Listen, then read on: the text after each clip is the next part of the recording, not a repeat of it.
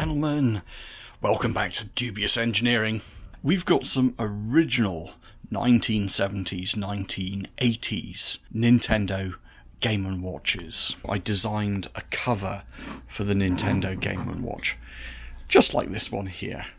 What I didn't know is that the new Nintendo Game & Watch is exactly the same form factor and profile as the old Nintendo Game & Watch.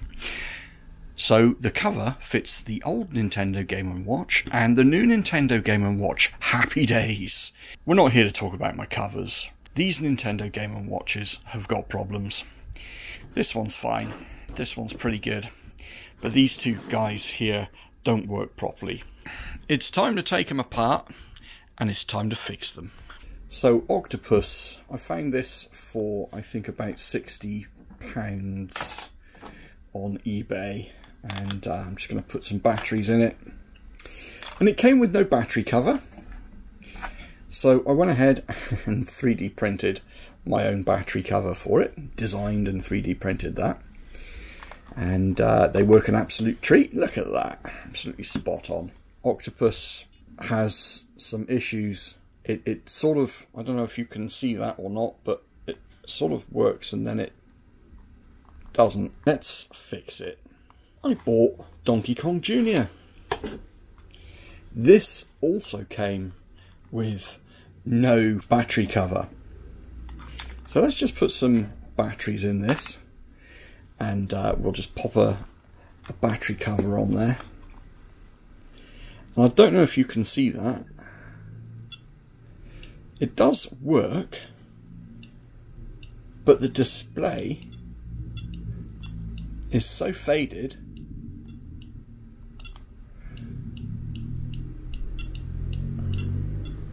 you can't actually see what you're doing. so let's take it apart and let's see if we can fix it. So I've got a couple of ideas that I'd like to try. And one of the ideas is to replace the polarized screen. Um, and, and that might help. I do know that there are a couple of capacitors in here. So it's quite possible that those capacitors have given up the ghost so let's put it apart anyway. Alright, let's just carefully wiggle that apart. Yeah, so one thing you need to look out for if you are going to be doing this, there's a little piezo transducer here, a little piezo speaker. So don't take the clamshell apart and pull it because you'll probably break the cables off the speaker. You've got an IC in the middle, just here. Then we've got um, what looks like a crystal and two capacitors. And then down here, we've got another two capacitors. And then here we've got our battery tray, our battery compartment. So let's go ahead and get into this a little bit more and see what it looks like inside. I've removed all the screws and very carefully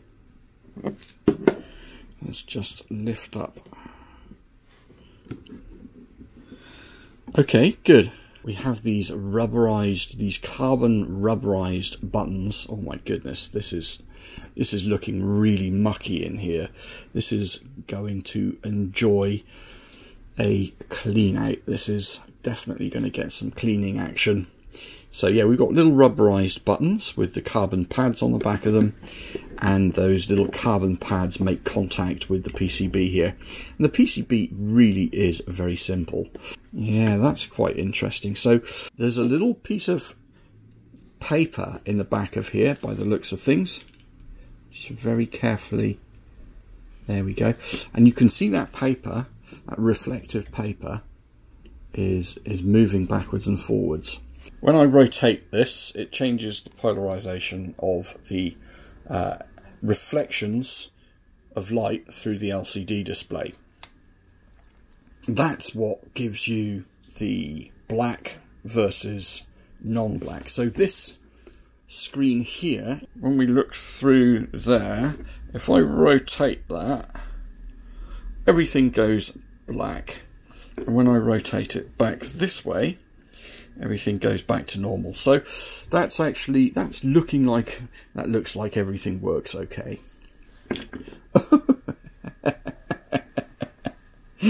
All right, okay. Let's get this, let's get this kit cleaned up. Ooh, little push buttons here. Let's be careful with those. Let's get all of this lot cleaned up. Let's get everything gently washed. And, uh, and then I think what we'll do is we will replace these two capacitors on the PCB. So one of those capacitors is a 16 volt 10 microfarad electrolytic and the other one is a C33 um, tantalum bead style capacitor. I can now do a bit of a comparison. Uh, you can see on the right here this other sheet that I purchased. you get that nice and close. And actually it would go this way around. There's a little bit of leakage on the screen. There's some, some problems with the screen whereby uh, the LCD, uh, the liquid crystal is, is bleeding. Um, but, yeah, do we want to replace that with that? or do we want to keep it the same? We should probably try and keep it the same. And actually, if I'm honest with you, that is much, much nicer. And then this here, carefully picking that up. This here is the colour backdrop. I'll just put that against a piece of white material and you can see then hopefully that there is the colour backdrop for Donkey Kong Jr. Game & Watch.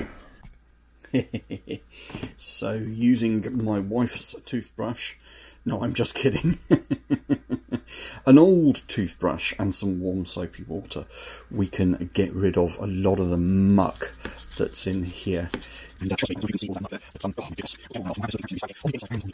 So now you can look straight through the LCD display and you can see the microchip there. And that is an ASIC, an application specific IC for Nintendo. A QFP, a quad flat pack. So, uh, yeah, very interesting stuff indeed. Okay, I've given this a really a good clean up. So we'll slide that back into place. And what we'll do is we'll use a little bit of non-streak window cleaner to just clean the glass very carefully. Let's get some George Formby done. When I'm cleaning windows. I don't know if you can see it in the reflection or not, but it's just really mucky.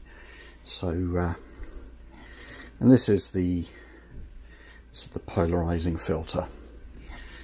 So let's just go over that. Right, let's have a go with the uh, with this then. Let's just see if we can clean this up.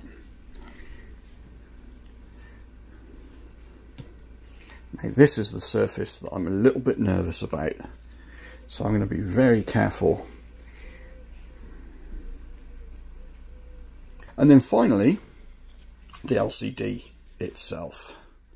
Let's uh, let's give that a gentle wipe over. Yeah, and there's, I mean, there's just muck all over this thing. That looks pretty good. There's no more dirty finger marks on that, which is great news.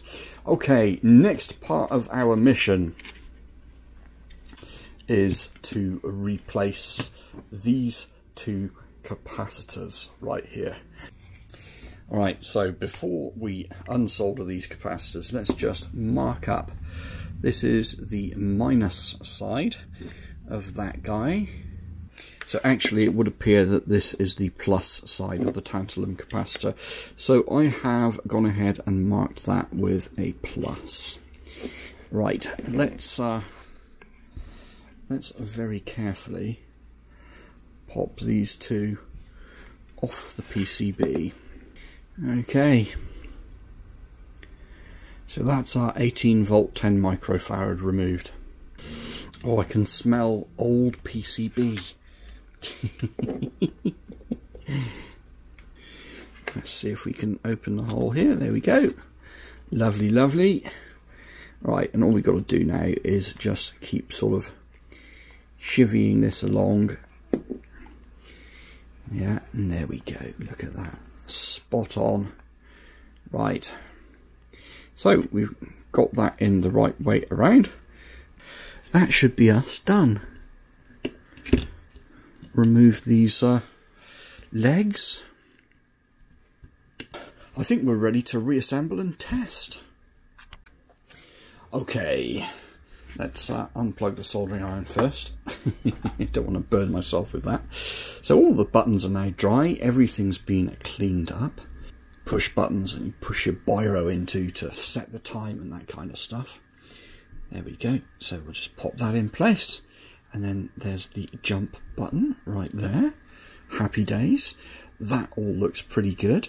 Uh, the this goes in first. Careful not to touch either side of it. There we go. The colour display is now in place. The next part of this mission is to pop the polarizing filter in place. And there we go, one polarizing filter in place. And then this guy. Yes, before we, before we decide to screw down, just make sure I've got my, yeah, I think the screws are completely black. I still got to the um, little patches on each of my That is what it is. Things like happen over time, um, sometimes, so, right, let's just, let's easy, man. That's nice. let's get this, uh, get this back together. Let's see if we've got that contrast. So, as I rotate that polarized filter, there is a sweet spot for maximum contrast. And weirdly, when my polarized filter is in this position, the contrast isn't so great.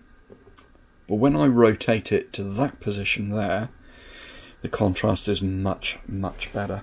And I'm going to have to fit it in place like that. Thankfully, it still fits inside the visual area of the screen, so we'll be able to do that. And then we'll have a nice contrast ratio on Donkey Kong Jr almost ready to go, just popping the batteries in it.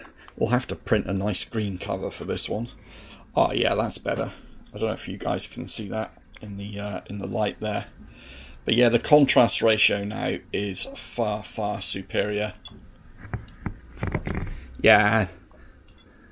Oh wow, I can actually play it now. Happy days. Whoops.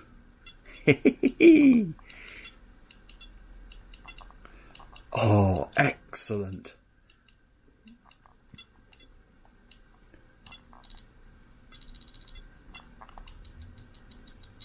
I died. Absolutely fantastic. Brilliant. That is so, so much better. Nothing I can do about the screen bleed here and here. But, uh, but yeah, that's absolutely fantastic. That is so much better. Okay, be quiet now. Alright, so I've started work on Octopus, uh, Game & Watch. And that is this guy here. Just noticed that the little silver reflective screen was poking out there. Anyway, um, yeah, this is in much, much better condition. It's clean, uh, just needs a little bit of a wipe over. I'm going to go ahead and replace those capacitors this guy here and this guy here, this little tantalum bead and this little electret here. Uh, so those are the capacitors that we'll be putting in place and I've cleaned up the screen very carefully there. As you can see I'm holding it by its edges. There's just a very tiny mark around the outside of the screen but nothing significant. And this one is pretty much ready to go. So let's just get those capacitors replaced.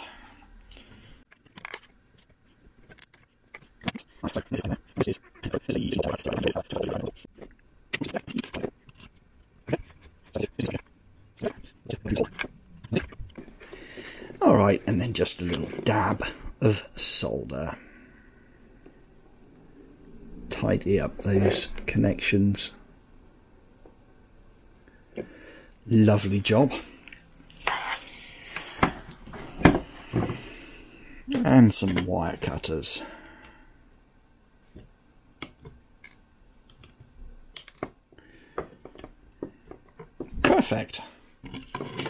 And there we have it. Two spanking new capacitors fitted. Now another thing that I noticed earlier when I was looking at this was the battery terminals. Uh, so you need to just very carefully encourage those open slightly so they make a slightly better contact. There we go. Now they should make a slightly better contact with the AG13 cells or the LR44 cells that sit in the battery housing. Right, I think this one's pretty much done. Just need to reassemble. Okay, so reassembly is quite simple, just holding things by their corners. And that's the polarizing filter. We'll drop that in first. This is the color background mask. We'll drop that in second. And I haven't removed the LCD display from the PCB. So in theory, we should be able to just drop that back in place. With a little bit of luck, there we go. Just a little bit of gentle wiggling and uh, a couple of little tabs there, a couple of little location pins, and that all sits down. Now, We've got four screws that are shorter than the others and those four screws are the four screws that hold this PCB in place and they make sure that that zebra connector firmly contacts the PCB to the LCD display. So, uh, so just make sure that you've um, got the right screws in the right place when you're doing this job. It's a little bit fiddly if you're getting old. like me. so another thing to watch out for when you're reassembling this is the little piezo speaker wire doesn't get caught underneath the stand locator there. So uh, you'll notice if it does because you won't be able to close the clamshell very well. Alright, let's get some screws in it, let's get some batteries in it and let's see how it looks. So, and as with all of these devices, this is old plastic, so don't over tighten those screws, just give them a little tweak. Okay, so we've adjusted our battery connectors as well, so they should make a good contact with the batteries now. We've 3D printed a replacement battery housing for it in a colour that's similar, and look at that. There we go. So hopefully you can see the octopus on the screen. Let's give it a go. Oh, died immediately.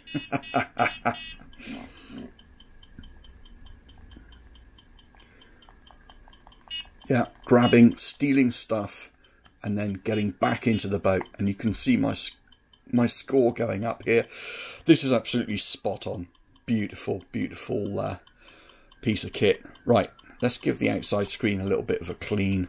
Uh, but other than that, this thing is magnificent. Now another thing that this used to do, because the old capacitor in here was a bit cream crackered, is it would the display would fade when the speaker made a noise. And now we've got that new capacitor in there, it looks absolutely spot on. So our next repair is Donkey Kong. Look at this. Who remembers this? This is a clamshell type of uh, Game & Watch.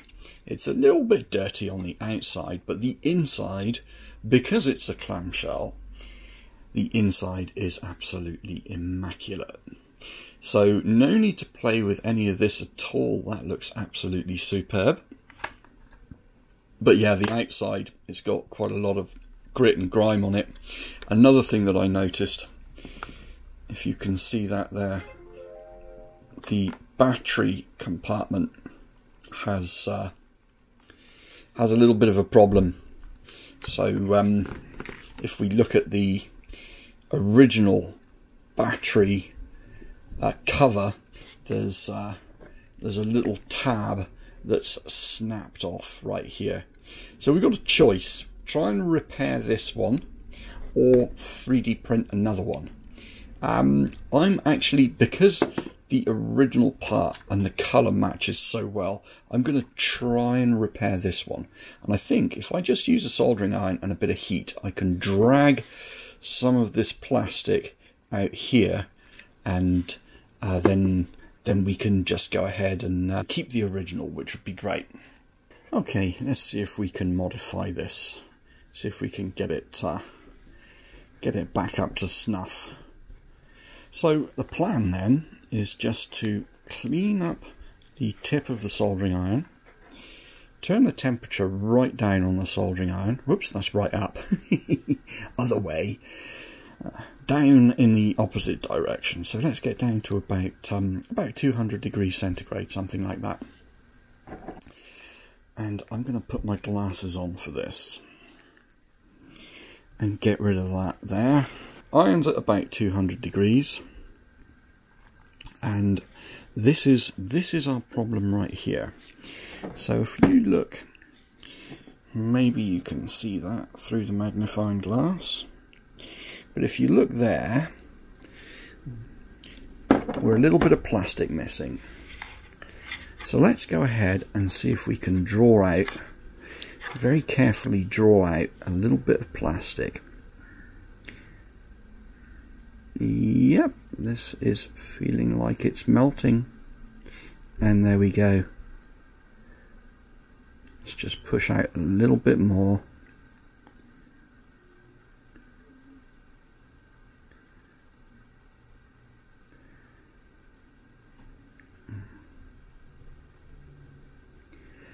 But yeah, that's... Uh, and of course no one will notice this from the outside. But there we go. So now, now we've got a plastic tab on both sides. Not a very big one, but let's just wait for that to cool down. unplug the soldering iron. And hopefully now, when we plug this, when we fit the battery uh, compartment back in place, yeah, look at that. Remember that wiggled before? That no longer wiggles. Happy days. Good, that's that bit done. That was easy, wasn't it? Right, now all we've got to do is clean it and have some fun playing it. Here it is, all nicely cleaned up. Let's uh, fire this little beauty up then.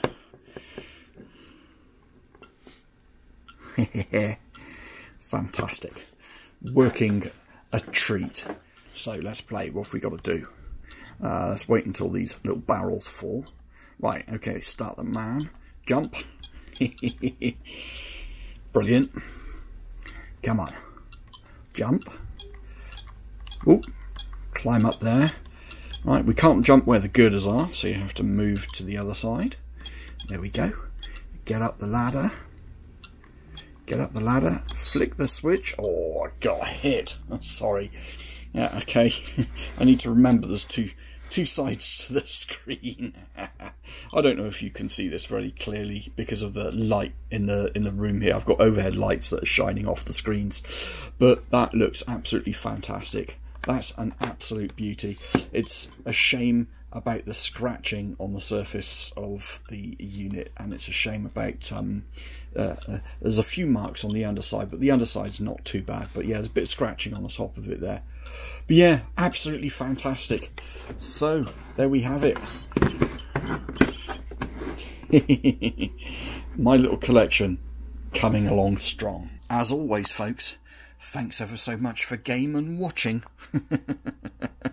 Give us a thumbs up, subscribe if you haven't already, and we'll see you in the next video. Take care, have a wonderful weekend, folks. Cheers and beers. Bye for now.